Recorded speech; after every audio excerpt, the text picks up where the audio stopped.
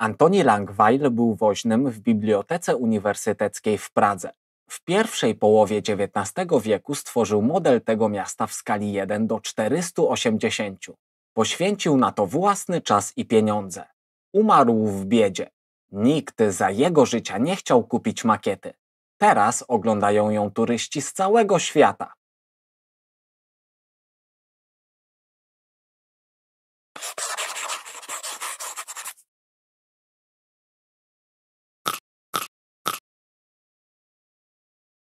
Widzisz rysunek przedstawiający pokój Krzysia.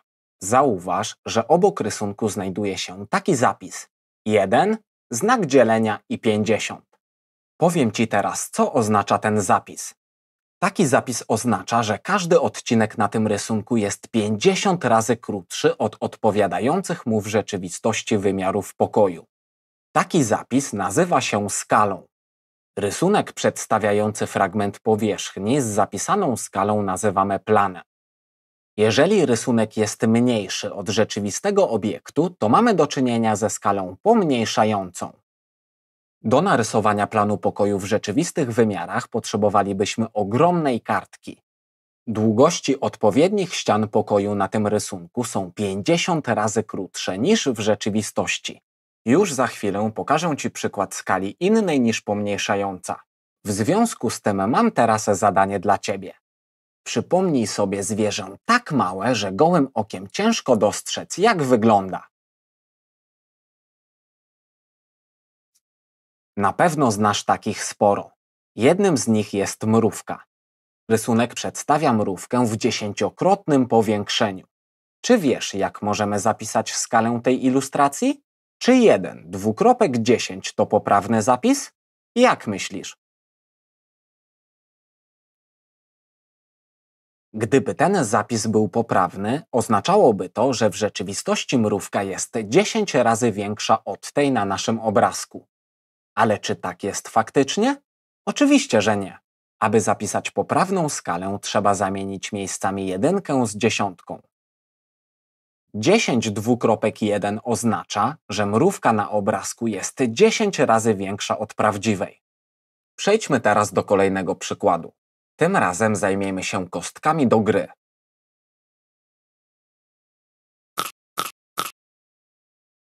Wyobraź sobie teraz, że znasz osobę, która ma nietypowe hobby. Zbiera kostki do gry i tworzy ich modele.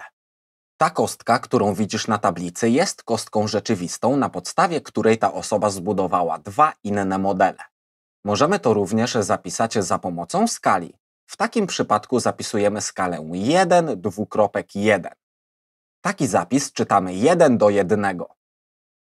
Spójrz teraz na jeden z dwóch modeli wykonanych przez tę osobę. Wymiary tej kostki są dwa razy większe od wymiarów kostki rzeczywistej. Zamiast mówić wymiary tej kostki są dwa razy większe od rzeczywistych, możemy użyć takiego zapisu 2 dwukropek 1. Ten zapis czytamy 2 do 1. Skoro model kostki jest większy niż jest ona w rzeczywistości, to jest to przykład skali powiększającej. Spójrz teraz na drugi model wykonany przez tę osobę. Wymiary tej kostki są dwa razy mniejsze od wymiarów kostki rzeczywistej. Jak zatem zapiszesz skalę, w której wykonano ten model? Zatrzymaj lekcję i spróbuj odpowiedzieć. Model tej kostki został wykonany w skali 1 do 2.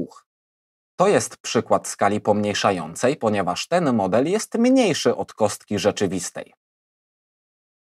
Pokażę Ci jeszcze jeden przykład skali pomniejszającej.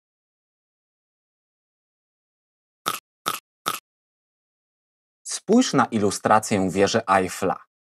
Ten rysunek został wykonany w skali 1 do 4000. Co to oznacza? Oznacza to, że budynek na ilustracji jest 4000 razy mniejszy niż naprawdę. A gdzie jeszcze wykorzystujemy skalę? Bardzo często w programach telewizyjnych, na przykład w prognozach pogody, pokazuje się mapę Polski. Powierzchnia naszego kraju to aż 312 679 km2. W stosunku do niej mapa jest naprawdę bardzo mała. Musi przecież zmieścić się w telewizyjnym studiu. Pomniejszenie takiej mapy musi być zatem bardzo duże. Tę mapę narysowano w skali 1 do 5 milionów. Oznacza to, że 1 cm na mapie oznacza aż 5 milionów centymetrów w rzeczywistości. Aby ułatwić obliczenia związane z taką skalą, stosuje się inny zapis. Widzimy tutaj 1 cm do 50 km. Oznacza to, że 1 cm na mapie to 50 km w terenie. Myślę, że teraz łatwiej możesz sobie wyobrazić, jaką odległość na mapie przedstawia 1 cm.